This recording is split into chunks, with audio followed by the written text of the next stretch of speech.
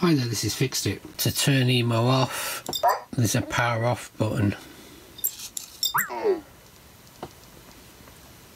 Continue.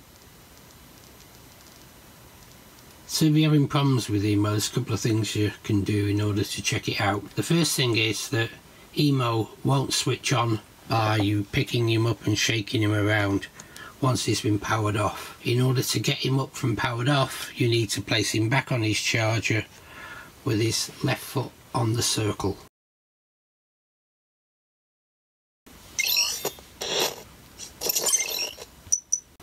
And then Emo becomes awake.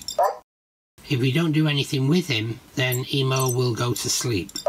If you're concerned that the network isn't working properly, then just speak to Emo.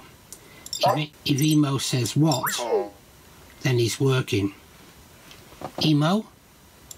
If he doesn't understand you,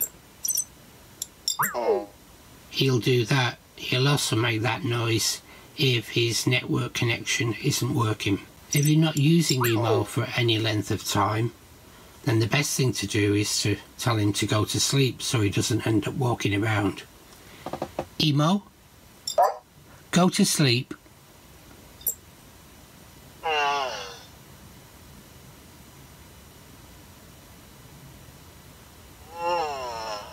Once Emo's asleep, he won't be walking around.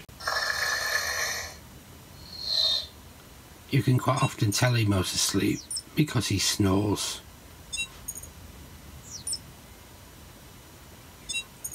If you try to connect to Emo and you get this symbol, it means the network is dead or Emo is not connecting to the network.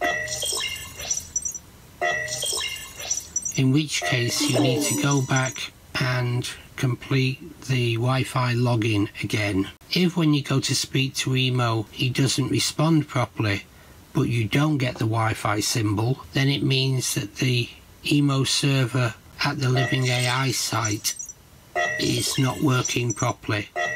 Not necessarily that your Emo's broken. Therefore you need to be patient and wait for it to come back up again but you always need the Wi-Fi to be up in order to use the voice recognition and special apps and you need the Bluetooth to be working in order to set up Emo in order then to access the Wi-Fi to set up. Hope you find this useful.